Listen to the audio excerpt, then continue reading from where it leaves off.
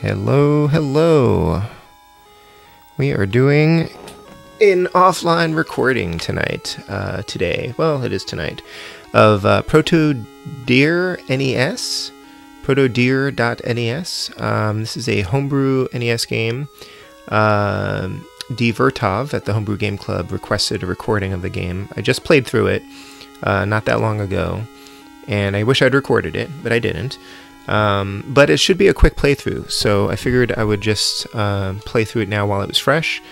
Uh, hopefully, it won't take more than 20 minutes. Um, and, uh, you know, it, you won't get my fresh reactions to it, but uh, you will get some of my reactions to it and some of my, my commentary and thoughts about the game. It's pretty fun, um, it's a little bit challenging, very interesting. Uh, the reason I played this is uh, because the Homebrew Game Club recently, for the month of October, for Halloween played through two games, uh, Traumatarium and uh, Protodere.gb for Game Boy.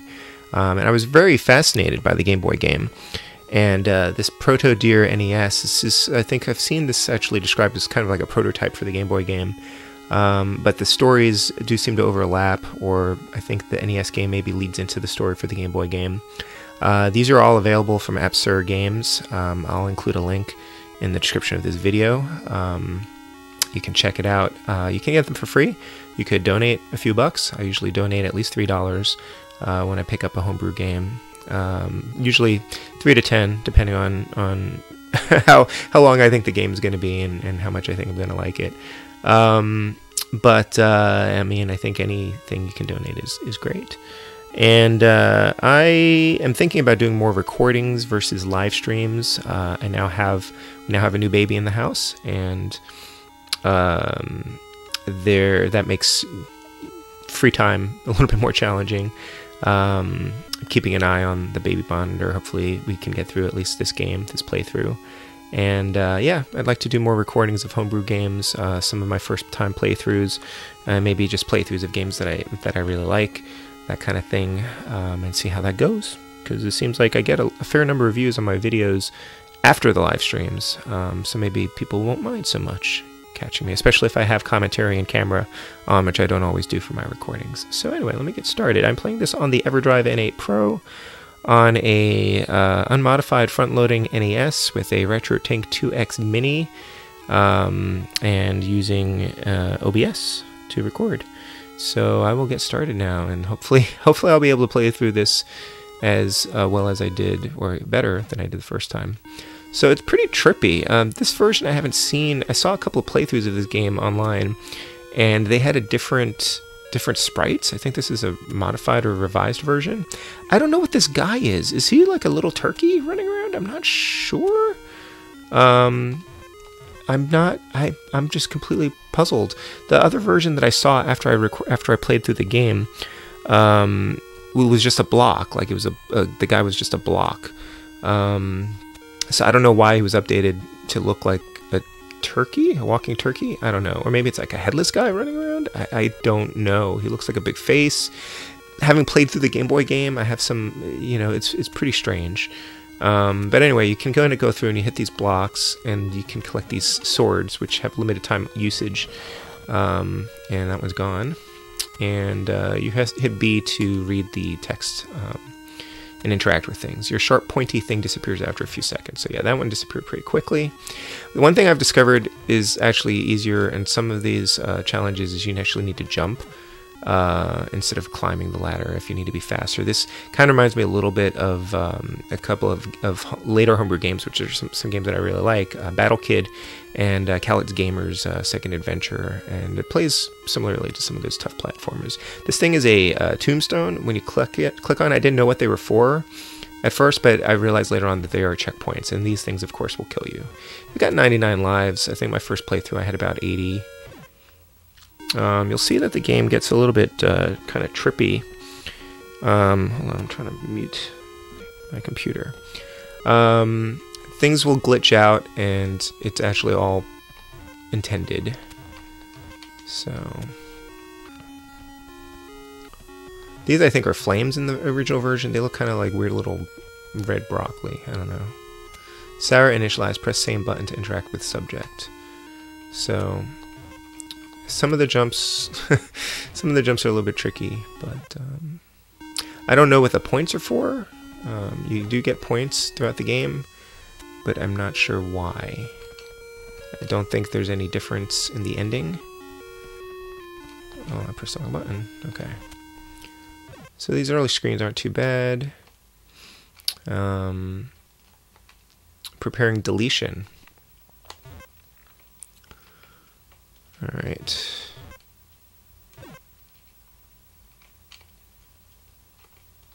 Controls it pretty nice. the jump's a little bit floaty, but not terrible. Um, I mean, it's all, I think, intentional. Um, it's pretty slick. It's pretty pretty sweet little game. Deletion process initialize, proceed to delete. So you get these weird little messages, and having played through the Game Boy game, the Game Boy game seems to be all about your um, you're in a, uh, a, computer, you're in a Game Boy game, and um, presumably cannot escape. Um, you're trying to f- solve a mystery, or, or you're, you're piecing together a story. And this game has some narrative to it as well, but it's not quite as deep as the Game Boy game. These flowers, I don't think you can interact with them at all. I like the the sort of the starkness of this game. The uh, wait, what's this S? What is that? Oh, the points thing just disappeared. Um, you never can tell if something's a glitch or if it's intentional. I'm going to trigger this checkpoint. Now, these things look like coins that you would normally collect. Um, they actually will kill you. And these things that look like spikes that you normally would avoid, these are actually points. I'm not sure why the screen is wiping there, but those actually are points that you can collect. So it's kind of an interesting thing. It, this, just like the Game Boy game, it plays with your um, expectations a little bit, you know? And then there's just like trigger points. Uh, you don't know what you did, but you just hit a certain part of the screen and then you, you progress. Subject Sarah has manifested herself interact with the pair of eyes, and that's ominous. And uh, and there's there's a pair of eyes. Um, I'm going to interact with them. Hi, my name is Sarah Gentner. Have you seen my daughter? And uh, Sarah does appear in the Game Boy game, and I believe her daughter does as well. There's all sorts of areas of the screen that you can can never access. Um, and again, I don't know what these points are, but I guess if they're knives, it's interesting that that collecting this the the the weapons or collecting the things that should kill you uh, gives you points. Anyway, moving on and then you'll see, catch glimpses of seem, seeming to be yourself running through the, ma- the maze. Oh, that's kind of scary. Just kind of crept, crept up on me. I have been here for a while. I think it was for a study about the Schumann re- resonance. Um,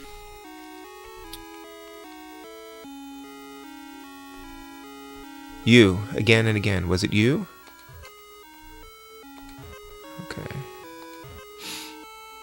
Now this hall, I believe, appears... Oh, that's interesting, actually. Having played through this before, that hall appears um, later in the game, and I wonder if that's your character running that way, if you're interacting with yourself in this. Um, there's also no pause. There's no pause in this game. Observe responses by Sarah. Okay. So... Right? So that was weird, but that's it seems like a glitch, but it, it actually is, is intended. And then this creepy thing happening over here, I'm not sure what that is. Um, it's some sort of ghoul. I don't know if that's meant to be. I don't know what that's meant to be.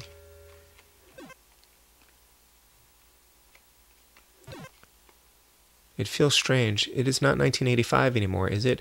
So these games, uh, their kind of their their gimmick is that they're meant to be like artifacts from the time. So the Game Boy game is like a Game Boy game that you have found like in your basement or something, and you play it, and you kind of become immersed in it.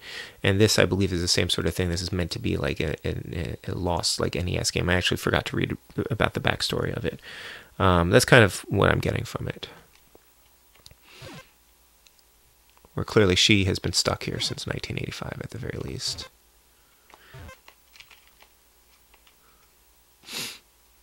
So this is kind of like the what I mean by um, the Khaled's Gamer Second Adventure.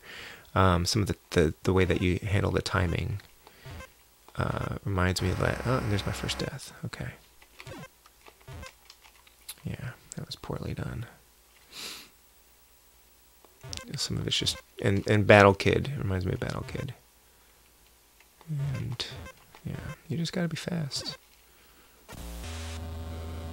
Yeah, so like, what? Oh no. Yeah. Normally, I like the last time I killed that thing too, but I don't think it matters. Now you cannot interact with just the, the single eyes. Which, that's a heck of a sentence.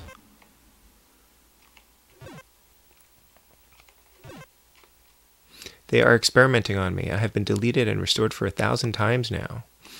Um, which, again, is kind of interesting. Um, which you'll see when we get to the end of this.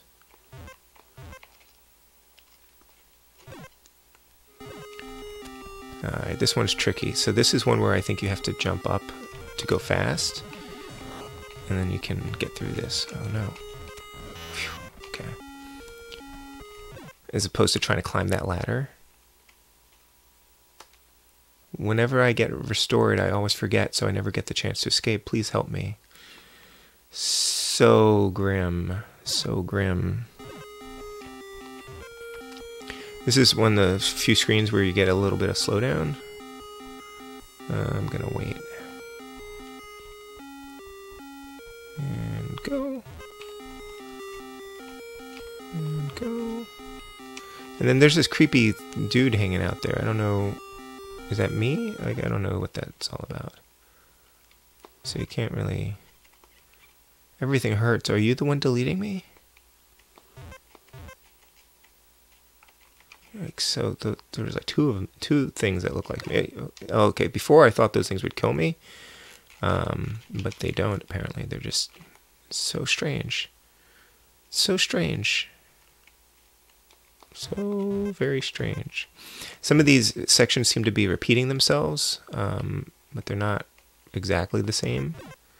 They, you know, these I guess you can collect them for some reason. I mean, if you want the points.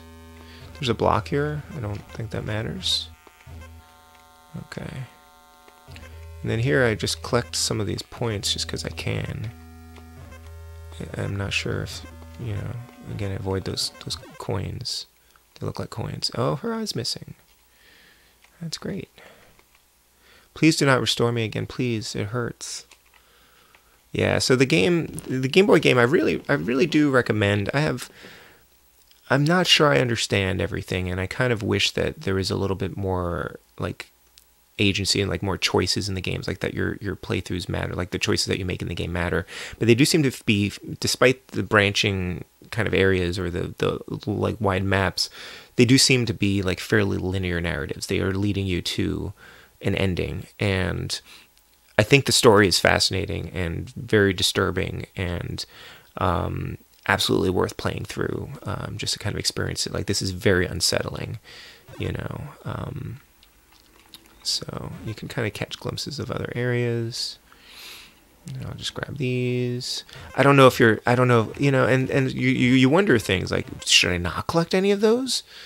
Would that change anything? You know, I don't know. I think there's there's only one ending for this, but I could be entirely wrong about that. So here, the first time I played through this, I did not go up this ladder. I, I went farther down, um, and um, and then there's like another ladder, and I kind of skipped that one. I came here and I couldn't get any farther, and then I went up this ladder, and uh, I, for the sake of this playthrough, I'm gonna do the same thing I did last time. I don't know if it would be different if I went up the other ladder. And that's one of those things that like I question, like how many different branches are there in this game? Um, can I change? Oh, I guess can I go through there? There's a checkpoint. What? Did I do this last time? Nope. And that thing killed me. So I did not do that last time. Um,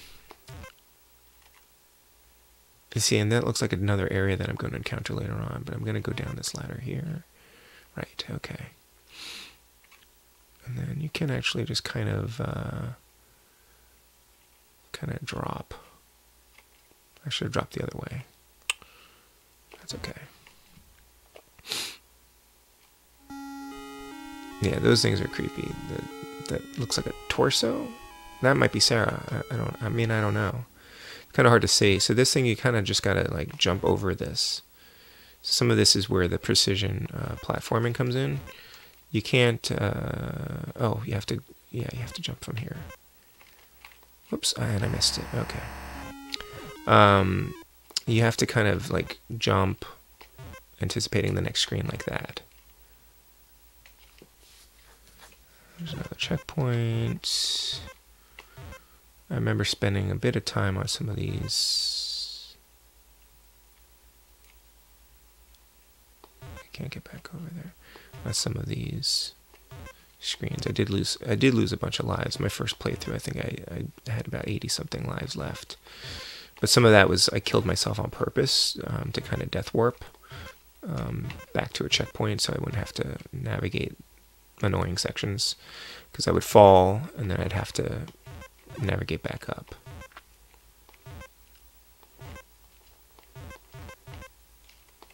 So I believe I have to go to the left here, but uh, I'm going to run back over to the right real quick here. Oh, okay, right, these things. Okay. And, and, and sometimes it's like, should I explore or am I going to mess myself up if I do that? Um, like, can I actually get back to this this path? You know. Um, Okay, this is the one that dvertov was saying was like really annoying. So you have to kind of stand on the and platform here, and you have to do have to time your jump to clear these guys, and then jump again. So this is where I oh no, and I landed on the checkpoints, and I have to do this again. Okay, this is where I would do the the the death um, death warp to get back to the other checkpoint. That's okay. Um, it gets a little bit annoying have to redo these sections. But I didn't find the platforming in this that bad. Um, having played through something like why did I run into that? Having played through something like uh, like Battle Kid, um, it's like much easier. But it's the same kind of thing where each each screen can sometimes be like a little bit of a puzzle, and you're trying to figure out like how do I clear it. All right, uh, this way, right? Okay. So, let's try that again. Right, and then there's like a torso.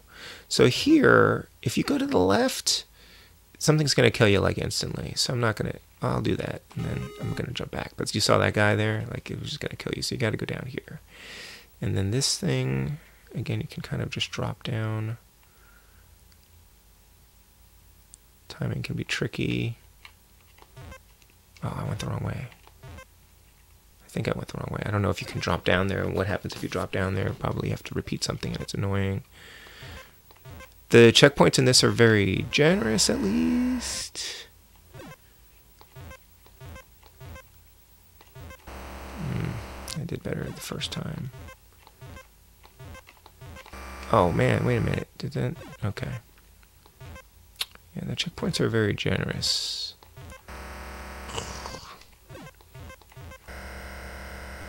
It's like playing Operation. I did much better my first time through here.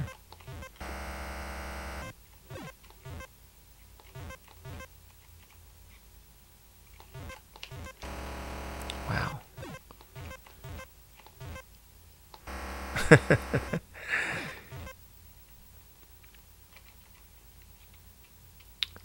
I did much better my first time. Okay, I think I need to jump over that guy. Wow. What the? I did not have this much trouble my first time through here. It's because I'm recording it.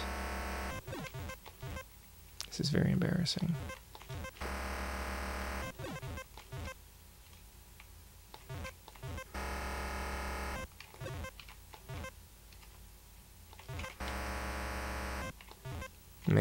Okay. Yeah, I definitely did better the first time through. Okay, I didn't have enough height there. Whew. Yeah. Anyway, we're pretty close to the end there. So I thought I could get over to that thing, but I, I didn't have the opportunity. Um, this is where it gets a little bit hairy. Subject critical, delete now. Anyway, that was embarrassing. So here you gotta just like grab this block fast enough. See, let me see where she ends up. Okay, so just doing that.